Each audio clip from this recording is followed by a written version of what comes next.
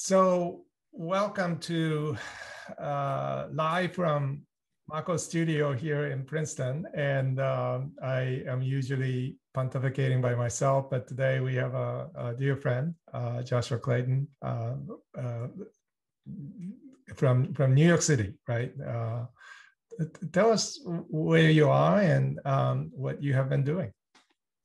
Yeah, well, uh, hi from New York. Today I'm in a today I'm in a spare office on NYU's campus because there's construction going on. So I've been uh, I've been displaced for the summer.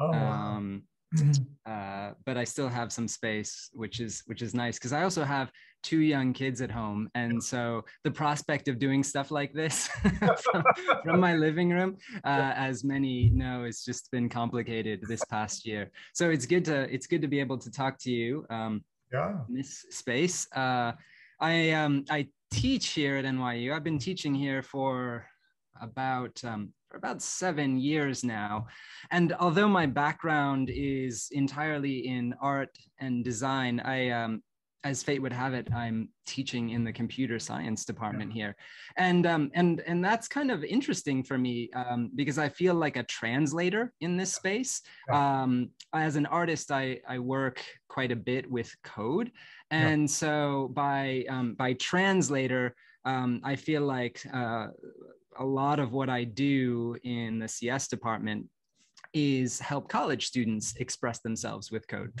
Mm-hmm.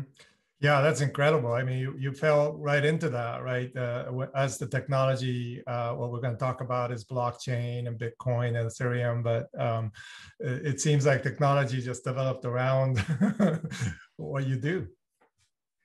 Yeah, well, um, I, I think for me, uh, and uh, you know, a point of connection, Mako, among many for us, yeah. um, is that I was living in Japan for uh, for a few years, um, just before we met, actually. And during that time, um, I, I, started to become increasingly interested uh, in the, I guess you would say, the the creative potential of computational media. Um, I was always interested in what you could do, for example, with photography and digital video. And as you and I have talked about before, so much of the arts emerge from technological in, uh, innovations, whether that's whether that's the paintbrush or the pixel. You know, these are all kind of technological evolutions.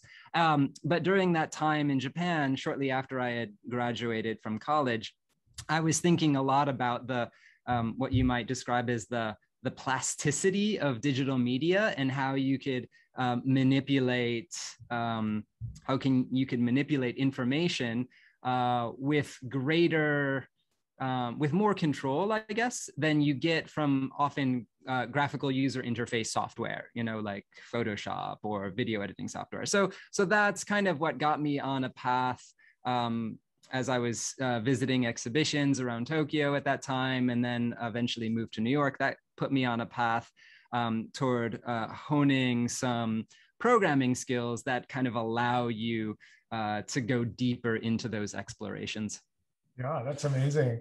So, for absolute uh, beginner, novice into uh, an area of Bitcoin and uh, blockchain, uh, help us understand uh, what that what this is, uh, what's going on. You know, and we hear about. Um, you know Christie's auction um, with Beeple fetching sixty nine million dollars, and yeah. And, hear about you know all these uh, uh, you know bitcoin prices going up and down but but uh, you know but but from where it was several years ago i mean this has skyrocketed in value and people say this is here to stay. Um, what, what's going on?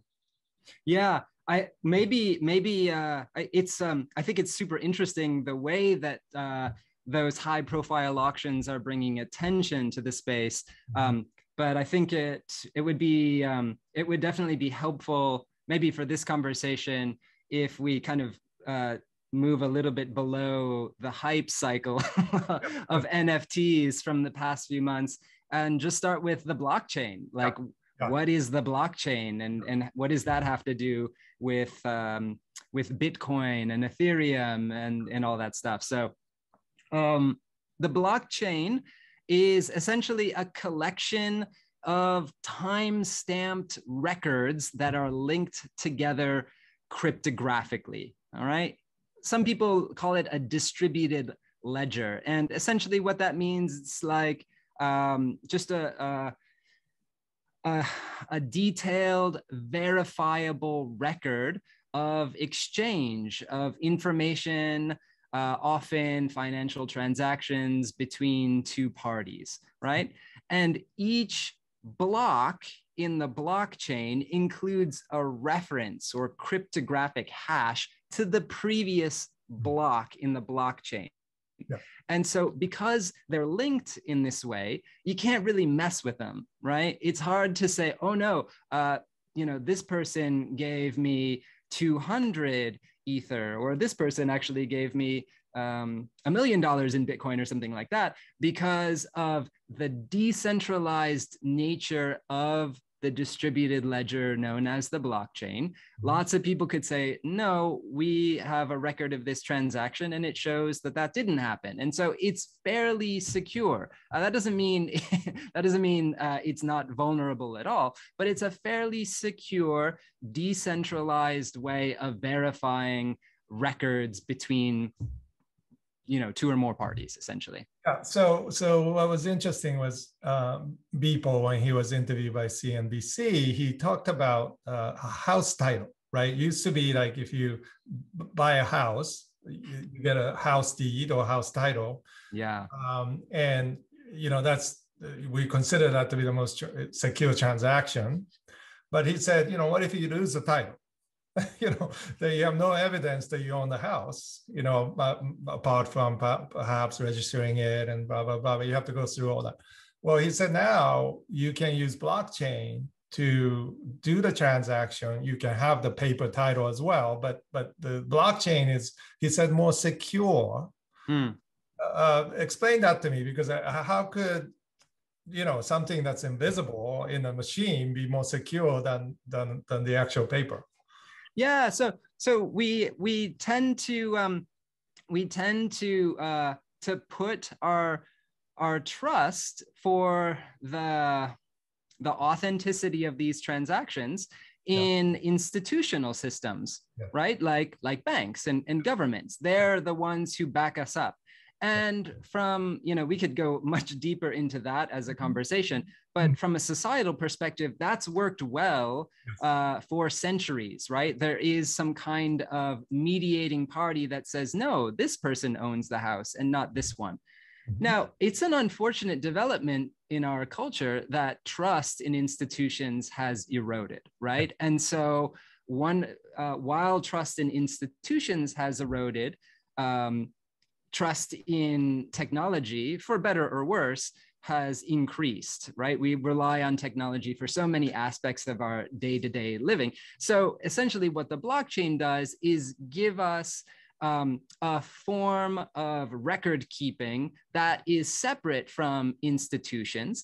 And it's hard to, dis- to dispute uh, the veracity of those records because they're maintained by uh, hundreds of thousands of computers around the world that's what we mean when we say it's a it's a decentralized it's a distributed record keeping system because it's not like there's just one person or one computer server that actually is maintaining this record there are hundreds of thousands of people around the world whose computers have a record of that particular block that yeah. particular cryptographic hash and yeah. so it's hard for somebody to say no that's actually my house now the interesting thing about that is it, it can expand beyond just the the concept of ownership for currency and houses like yeah. these records and i think this is the most interesting thing and maybe it segues into the creative aspect of our discussion mako is yeah. that the blockchain is not the same thing as cryptocurrency it is the foundation of cryptocurrency but the blockchain can make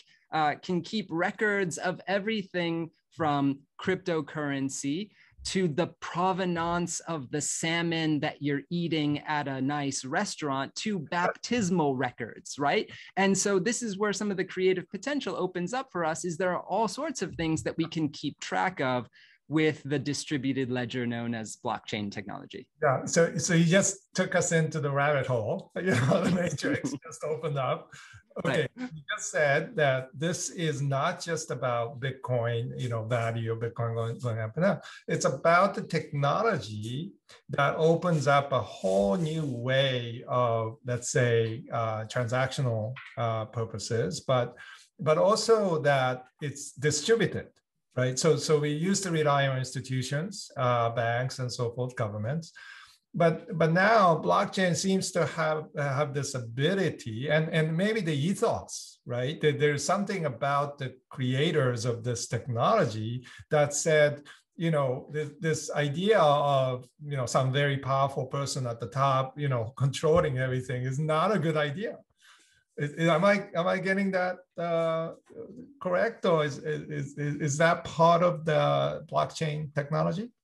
Yeah, I, I, think decentralization is huge. I think that's a that's a key concept. Uh, people come at this from a lot of different perspectives. Um, like people who are interested in blockchain and cryptocurrency by extension um, often uh, have different motives for doing that. Mm-hmm. Personally, I, I'm very interested in the decentralized aspect of it. The fact that it's not hierarchical, it's not institutionally controlled in the same way, mm-hmm. because in theory, that opens it up um, to um, I guess you might say, uh, a freer space, right? Now, that doesn't automatically translate to freer space. Um, I attended a conference on uh, blockchain tech and its relationship with art back in think it was 2018 and one of the points that came out of that conference was decentralization does not always translate um, to to greater freedom or lack of authority. Right. Right. Sometimes what it just means is that the authority just shifts to other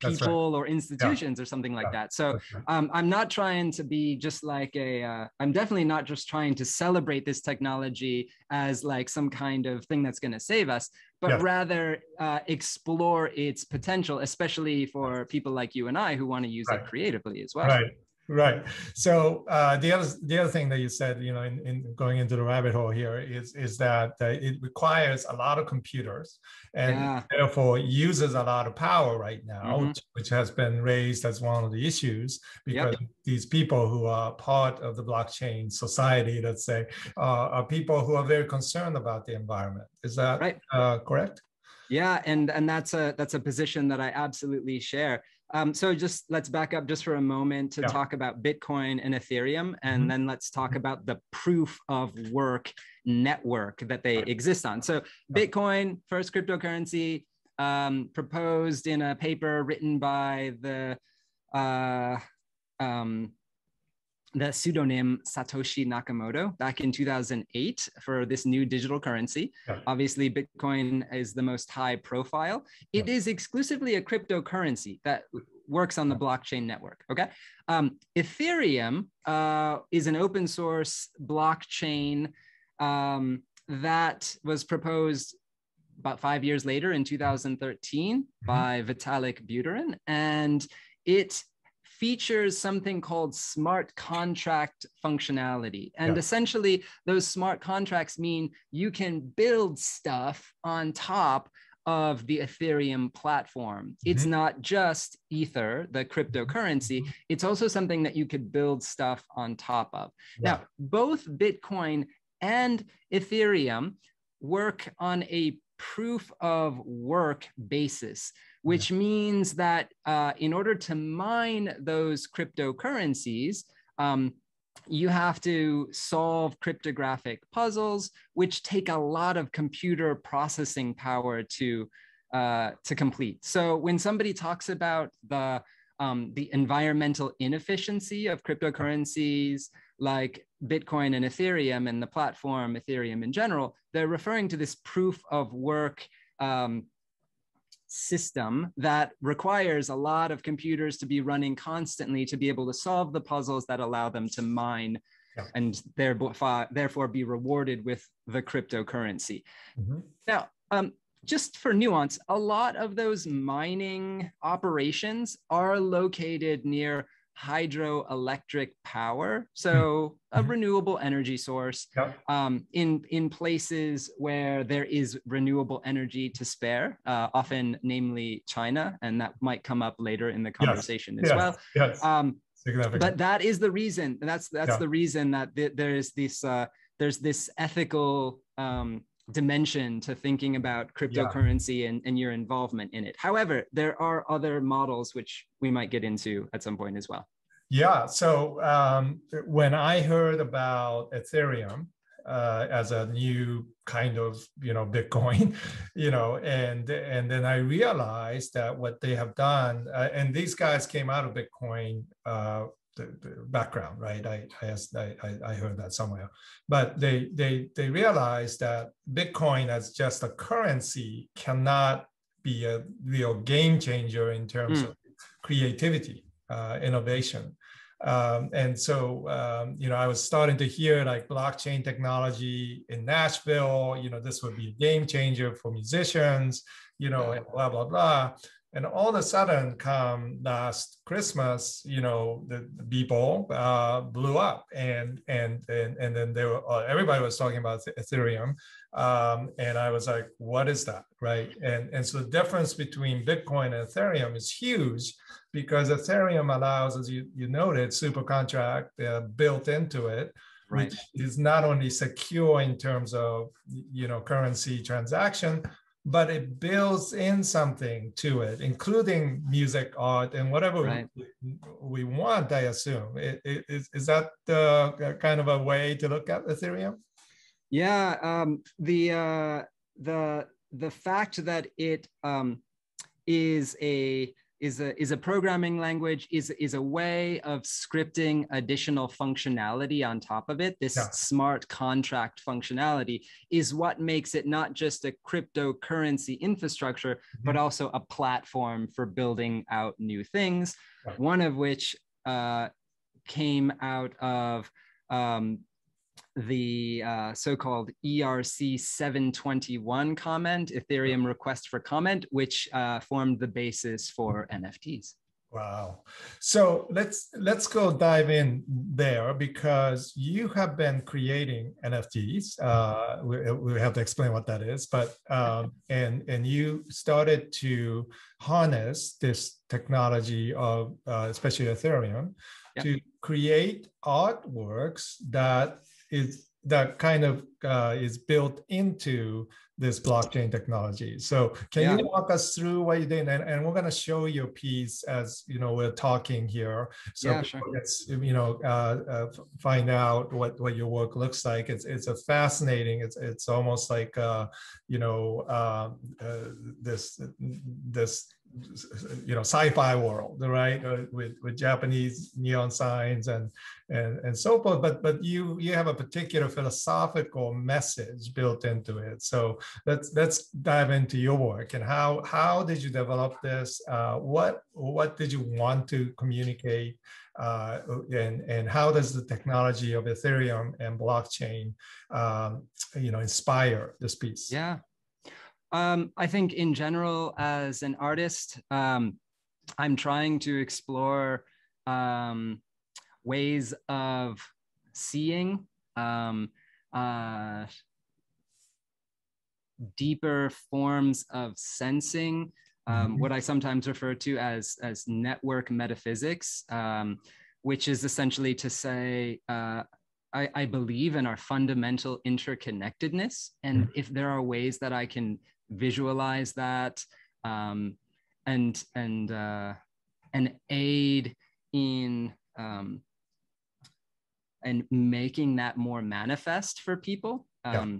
the way that uh, the way that we are connected so in that sense uh, network technology has often um, aided my explorations because network technology obviously interconnects us in some meaningful ways. Yes. But I don't feel like that is the extent of our ontological interconnectedness um, and so i'm interested in ways um, that we can that we can see that and and oftentimes in contrast to uh, something like the web that requires a little bit of slowing down yes. too right and so so i'm working uh, you know i'm working sometimes in this contemplative way mm-hmm. that is um, that is contradictory to the medium of right. of the internet in right. its uh, in the way that it kind of tries to um, to speed us up and yeah. uh, and hyper connect us yeah. as well. So uh, NFTs or non fungible tokens are simply an extension of those experiments, uh, that work that I've been trying to do for. Um, honestly, since since I was I was living in Japan in the in the early 2000s. Hmm. Um, Is it's that just that first heard of NFT. When did you first hear of that non-fungible token? Word? Yeah, I think somebody sent me. it wasn't even something I came across myself. So I think uh-huh. it. I think it like late 2020.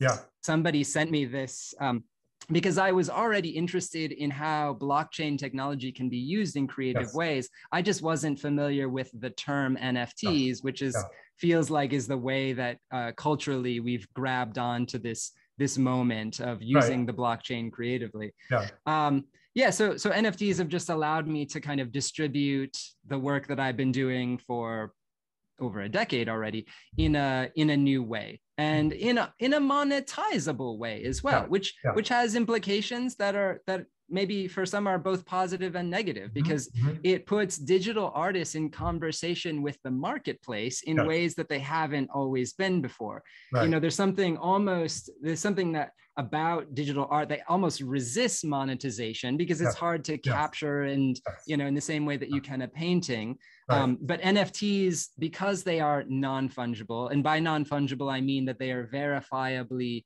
yeah. unique. If I give you a dollar, Mako, yeah. you can give me any dollar back and it is mm-hmm. effectively yeah. the same. But because of blockchain technology, wow. we have the way of verifying the authenticity of a particular piece of digital art mm-hmm. and say, you are the one who owns this digital piece mm-hmm. of art. Mm-hmm. Of course, that, mm-hmm. like anything, requires some kind of faith in that system that this is mm-hmm. legitimate. But if enough people put their faith in that system, uh, then you've got a new kind of art market. Mm-hmm, mm-hmm. Yeah, that's fascinating, right? Because uh, you just mentioned the word faith. Um, and, you know, we uh, talk about these matters, uh, even if you don't understand blockchain, you know, you, you, you might be talking about faith in the system of the government or institutions mm-hmm. such as the banks and and uh, you know the, in, in, many of the uh, discussions that i've heard of people puzzled over why why would you spend millions of dollars on this invisible reality you know and and and, and i think it was Beeple but you know he said like um, actually you know have you ever like you know whatever you have in your bank account have you ever seen it you know, and, and it's a brilliant way yeah. of you know talking about uh, we actually already rely on faith and yeah. invisible technology technology that uh, yeah. assume security right and and so big blockchain is not you know anything different from that like like yeah. wells fargo has you know how many you know uh, of your daughters well you've never seen it you know it's there assume you know you can go to atm and cash that and get the physical thing but that's like tiny amount of what yeah. you actually perhaps own and and that's uh, that's an incredible reality right opening up and when, when you talked about metaphysics of this and you know um, media ecology you know the idea that the media itself it, it, has kind of a, um, a, reality of generativity to it or, or, some kind of life ghost in the machine you know we, yeah. we talk about that in the past but now it seems like this is part of you know what what's happening culturally as well yeah. as so so the world of business and world of art yeah. you know all of a sudden right came together in 2020 And, and just on a side note, um, you know, I've heard people say that 2020, the shutdown, had a lot to do with the uh, amplific- amplification or development of this rapid acceleration, perhaps. Do you think that's true? Uh, was was this technology that was burgeoning and it was going to happen anyways, but was it accelerated by? Do you think the shutdown and 2020? I, I wonder, I wonder, Mako. I think that's a that's a really, um, I think that's a pretty salient point. Um, and I don't know, I don't know how much um, cryptocurrency overall benefited from it. Right. I, I, think that NFTs benefited hugely yeah. from yes. it um, because it actually provided a way um, uh, for culture to happen yeah. um, when without going to a gallery, you know, and and that you know i think for a lot of people who worked in the earlier days of internet art i think there was a little bit of um i think um yeah I, I, think i think some people were like hey we've been doing this for for years yes. so yes. so why why all the attention now yes. but I, I think you're right that its convergence yeah. with the marketplace um, accelerated it in in a different way um, and, and and you're right about uh, the dollar as well. I mean, hmm. there's nothing fundamentally that backs up the dollar anymore. It's not like it's linked directly to even precious metals or something, but it is linked right. to to uh, to our government, and it's going to stand behind it. And so, you know, at the end of the day, there there is a, a different kind of power. it's right. not necessarily right. computing power. Right. Um, it's, it's a different kind of power that says that dollar is worth one dollar and it's not you know it's not just a, piece of cloth or paper or whatever yeah so when we uh, um, dive into the matrix we start to see that um, during last year the, the, just just this uh, not just amplification of technology, uh, blockchain technology, but but reality of how people view economy itself, right? So mm-hmm. we have the games GameStop stock, you know, meme right. stocks that that went crazy, and that's right. not uh, separate from what we're talking about and the gallery system that you yeah. and I have been, you know, part of uh, for many years in New York. You know, people said there are only really five galleries. You know, they they they are the gatekeepers. You know, and if you don't, you, you know, there's no way a young artist can uh, make it today because the gates are so tight that there's no opportunity for anybody coming up to showcase their art um, in, in, New York City and Los Angeles and other places. Well, now that's completely changed. You know, 2020 just you know just just was a year in which that system, let's say the same thing, institutional system, high bar.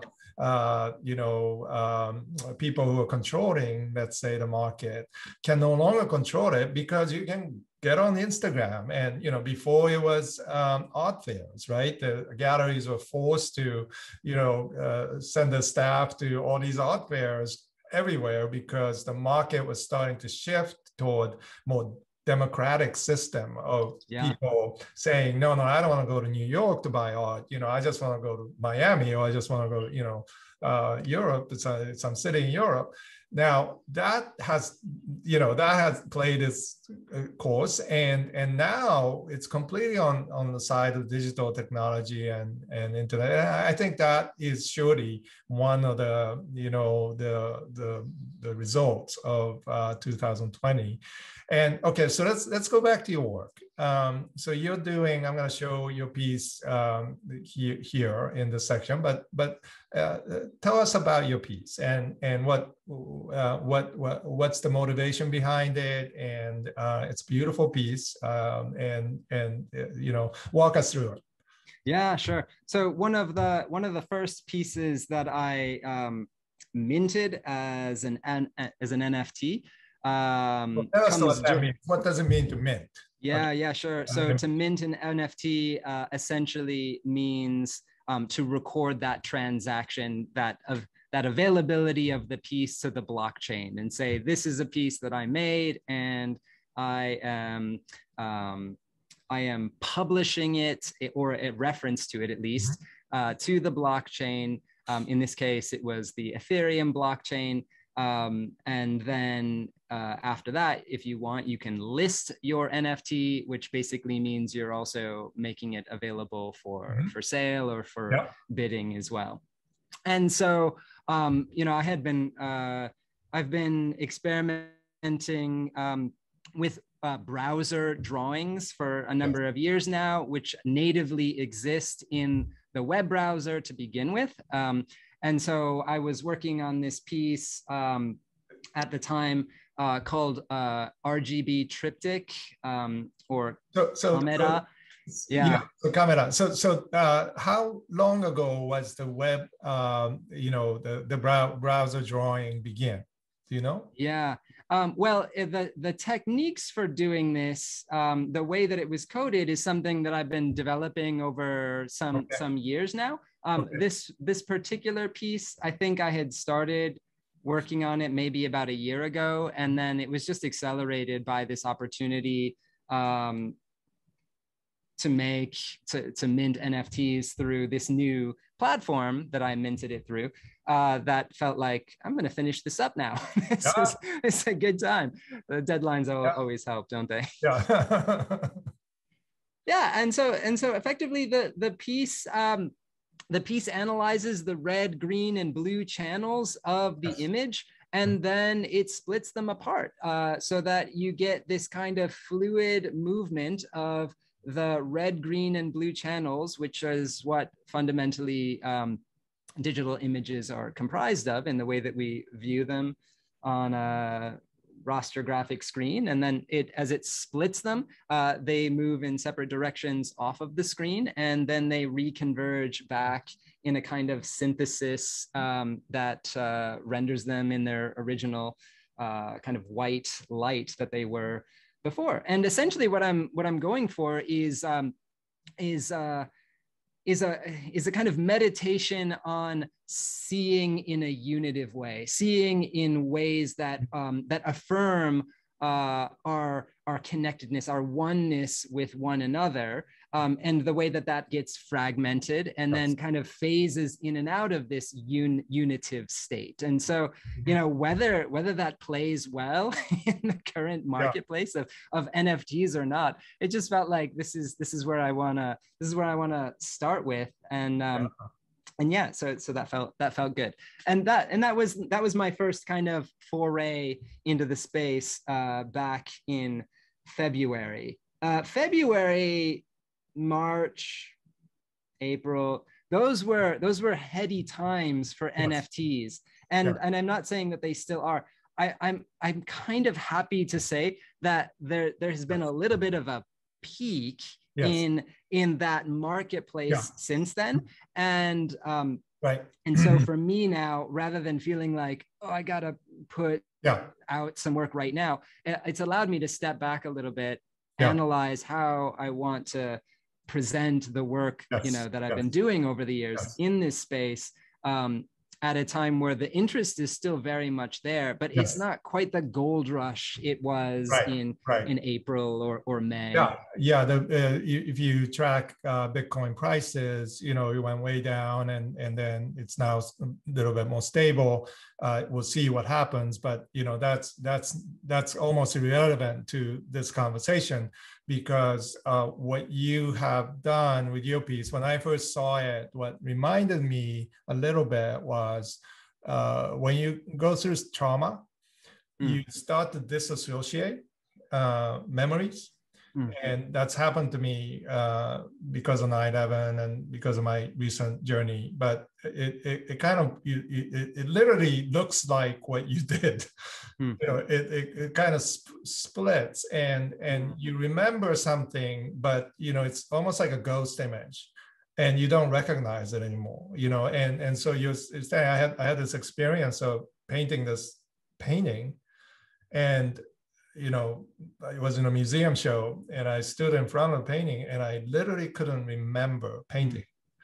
Um, and later, you know, I, I have photos. My assistant yeah, was there with me, you know, but but then this this disassociation, you know, I think I think through time, uh, through hopefully healing, it, it, can come back uh, mm. you know, slowly gradually, just like your peeps, right? Mm-hmm. So so to for you to have created this in in the you know 2020 or you know beyond but but you you, you know you minted it um, right at when when you know this this technology was beginning to happen uh, i think it's very significant i think it, it's mm-hmm. not just you know it doesn't i mean the the market side is one thing but you mm-hmm. know um, uh, the signature of it, right, mm. embedded in time and space is, is, is very significant.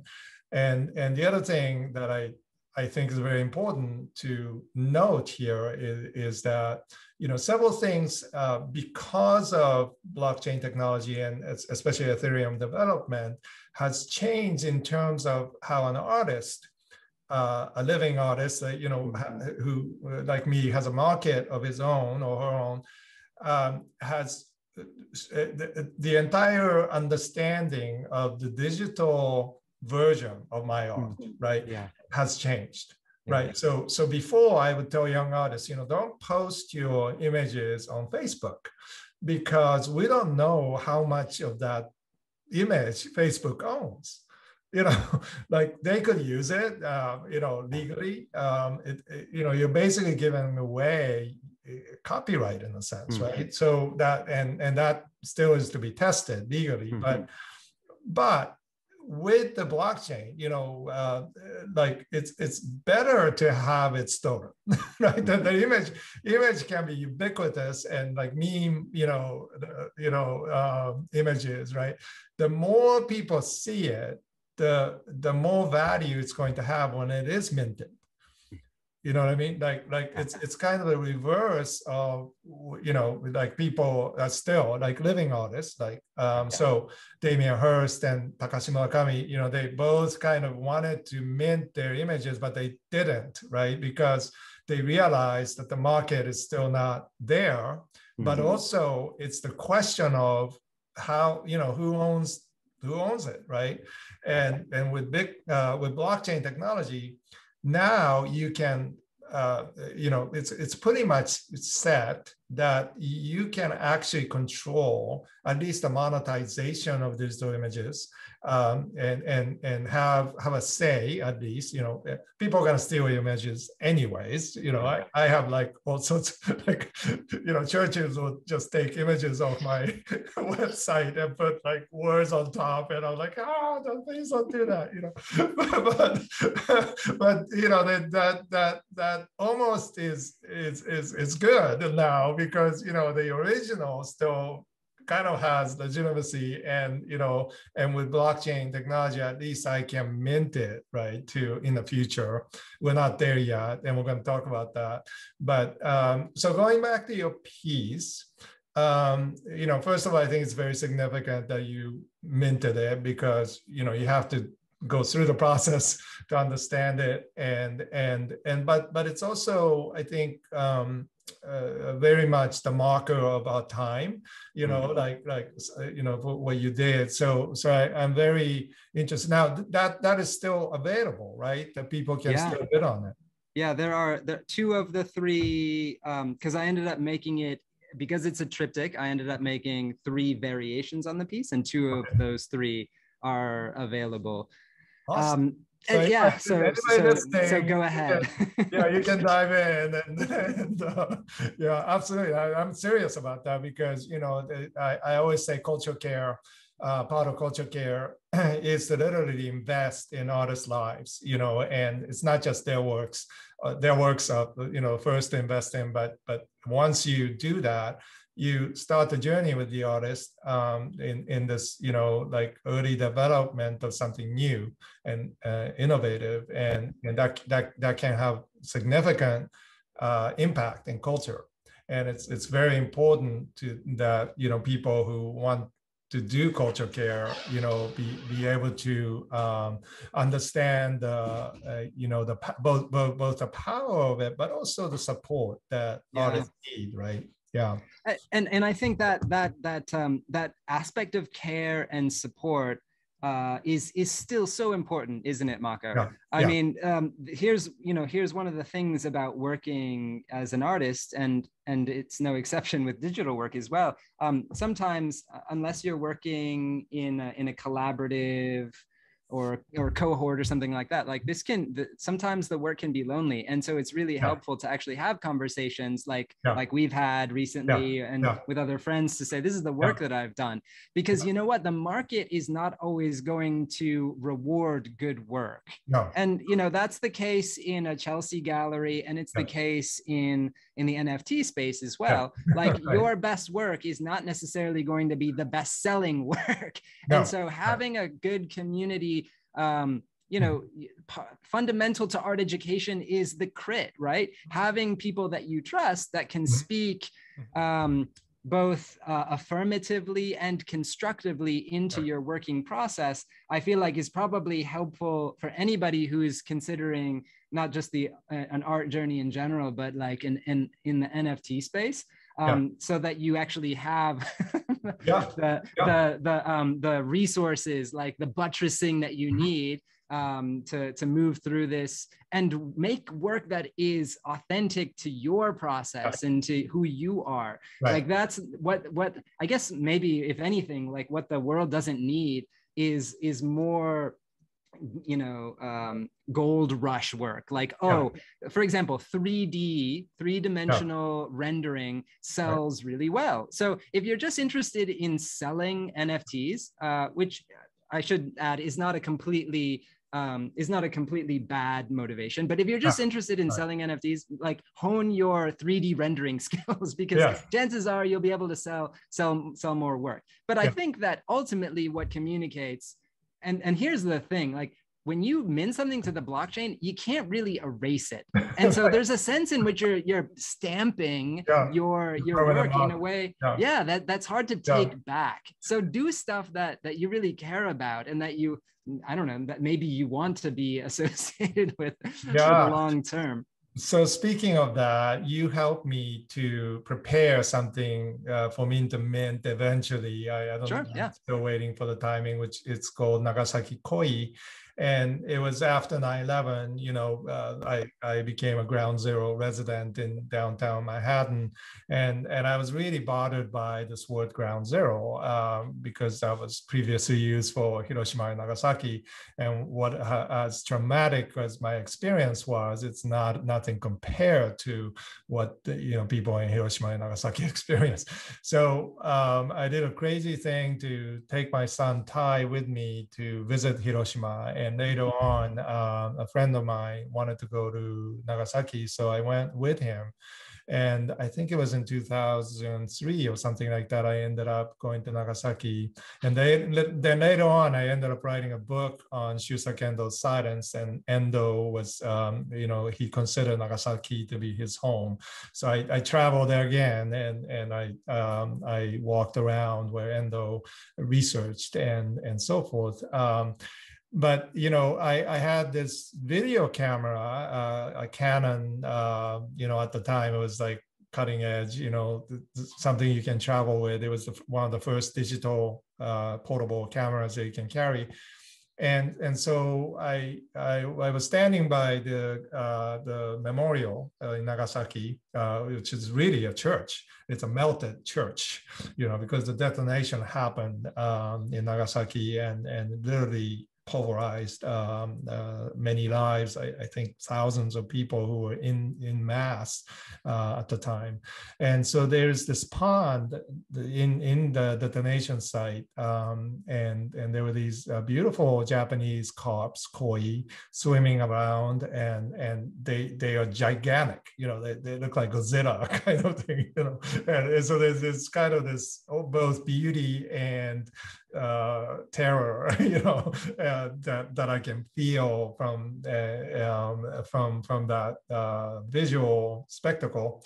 And so I, I, I just stood over it with a camera, and uh, just maybe it was like a, a, minute, but I, I just took this video, and I came back and I was looking at it, and I was like, um, I, I was reading T.S. Eliot, I was reading Dante, I was reading, you know, all these literature that dealt with trauma, and and part of Eliot's interesting um, comment about poetry is that you know time present and time past uh, you know perhaps present and time future um, so so there's a collapsing of time and and so i thought oh you know that's interesting. And and what i experienced viscerally on on in nagasaki what if you know one of the things about digital technology or any technology video camera is that you can reverse it right?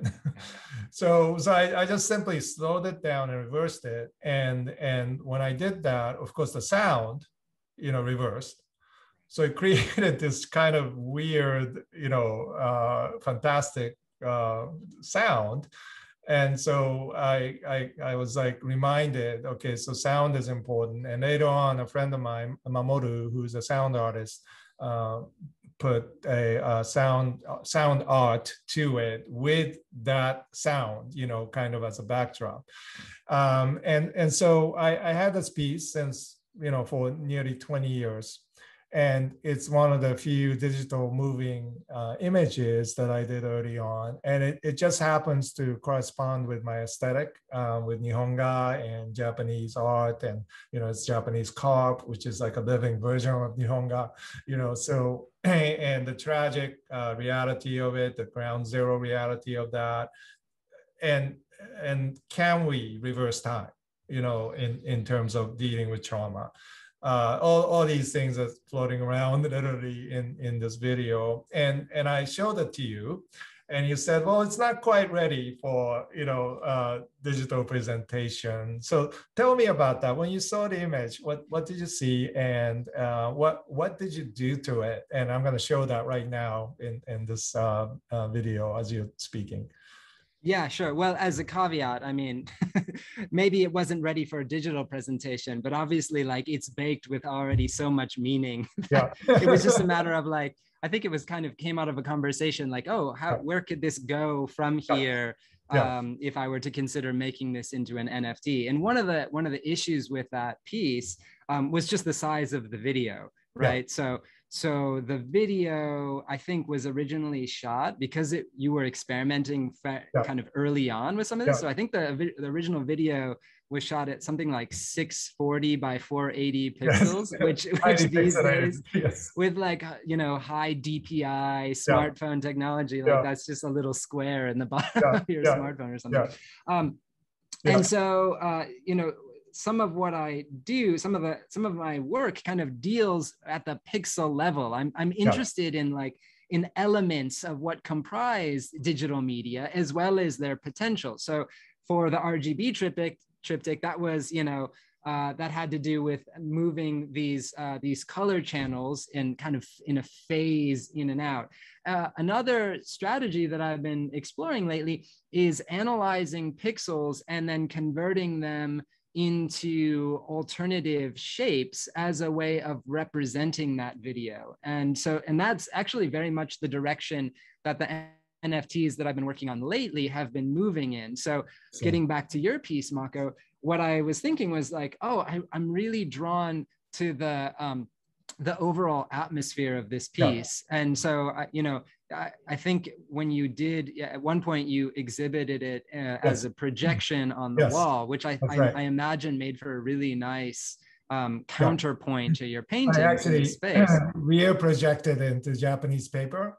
Yeah. so the pixelation works, you know, um, together no with this ancient materiality. Yeah. yeah. so I decided to to um, to kind of explore those pixels a little bit further. Um, and what I what I decided to do was um, was as I was looking at the video, uh, the the the koi scales have a really mm-hmm. nice quality to them that you yeah, can kind of yeah. discern from it. So what I did was I I made I, I kind of hand coded a a shape that was that kind of referenced those individual scales of the carp and yeah. then I used that shape of those scales to render the entire video image. And so what you get now is you kind of step back away from yeah. the um, the representational koi swimming um, mm-hmm.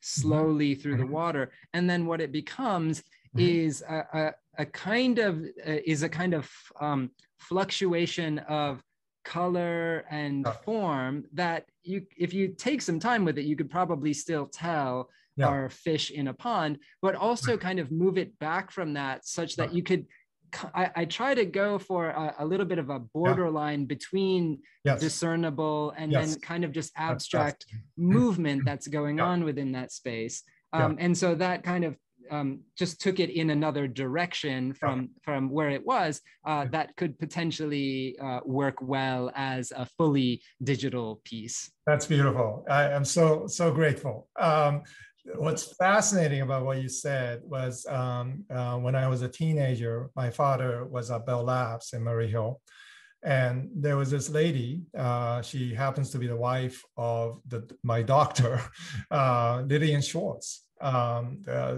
just you know working on her early digital art, uh, and she's considered to be one of the first digital artists. And what she was working on was an image of Abraham Lincoln, pixelated. Mm. So she used a very early, early uh, form of you know digital technology, and she amplified the the abstraction uh, that, uh, uh, you know the like in digital camera we you know we don't realize it's all pixelated it was just you know uh, it just fools our eye with you yeah. know in, in some way uh, so she took advantage of that and she pulled it way back and and when you uh, sent me that you know what you worked on uh, it, uh, to help me it it just reminded me of Lillian's work, you know, and and it was it was delightful because I I, I kind of connected. Oh, this blockchain technology, which is brand new, and you know everybody's like not sure what this is, uh, and you know this uh, NFT um, that that digital artists uh, starting to use.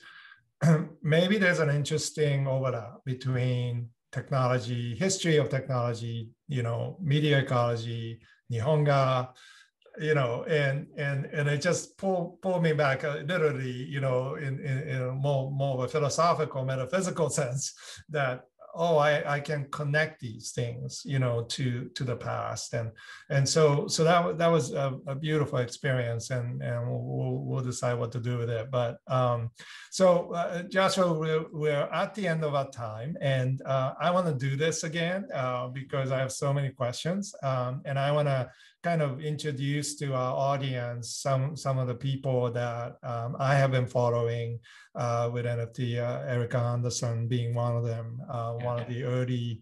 Uh, I think she's creating some really beautiful images, and um, uh, I don't know if she'll uh, you know um, agree to get on. at least we can introduce her pieces, you know. But but she, um, I think it would be great to uh, create kind of a series on YouTube where we, we you know because it's ongoing right?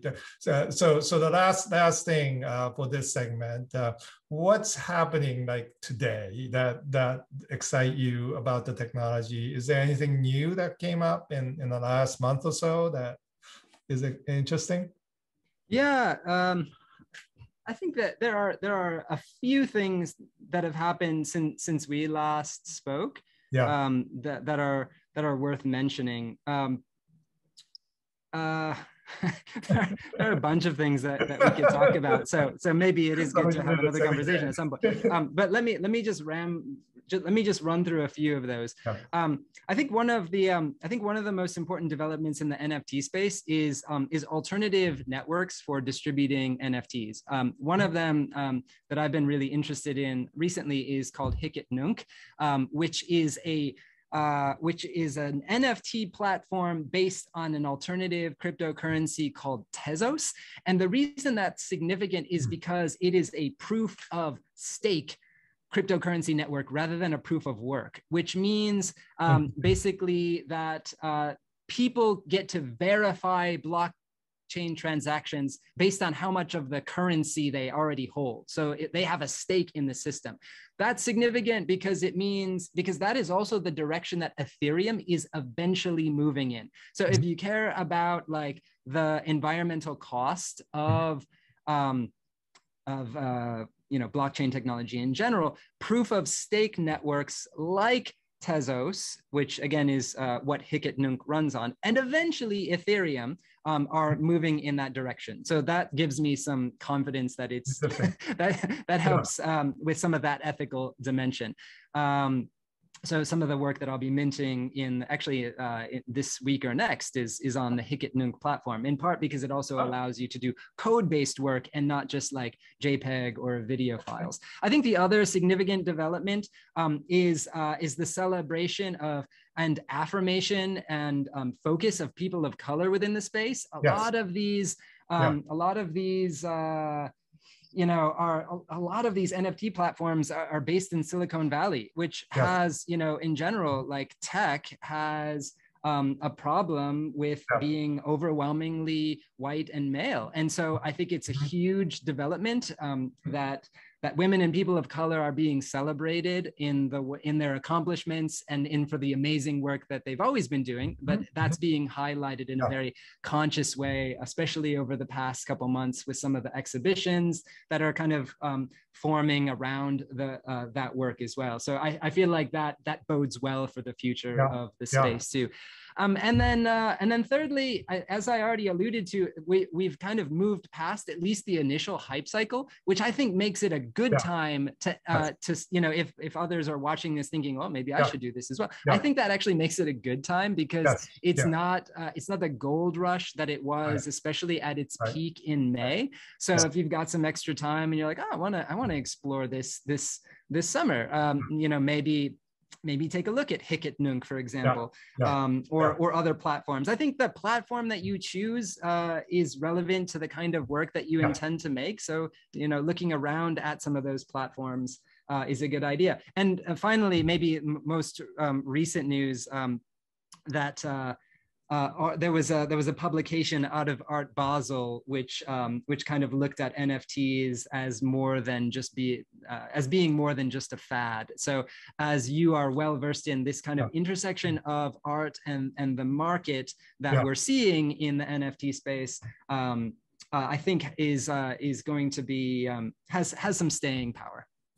Wow, I mean, there's there's a lot there, and we're, we're gonna you know put links all over. So right. especially uh, your new minted work, uh, you know, let uh, audience know. And uh, but you know, I always say at the end of these uh, broadcasts, you know, let's be makers again. You know, we we we are all makers, and when we're making some things, you know, this this reality opens up, and um, and and this uh, digital technology is, is a technology just like a brush is a technology. So so we can really you know create something enduring you know that's uh, also you know I, i'm hoping that um, you know we, we can create works that span 20 years you know that uh, to create you know um, and hopefully that'll be enduring more than 20 years. But you know some something that marks the time that we're in and and to be able to do it uh, with as you noted authentically with with something that only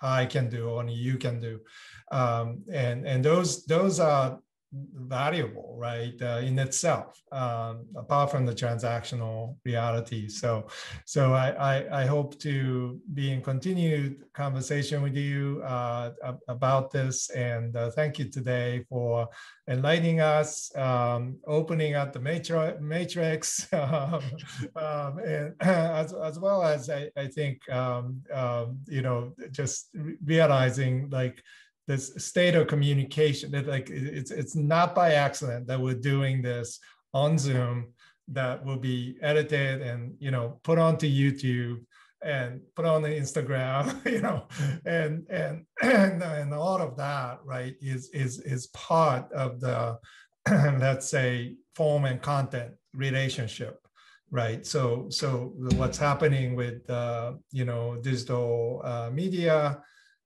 and um, and and what we're talking about is creating community.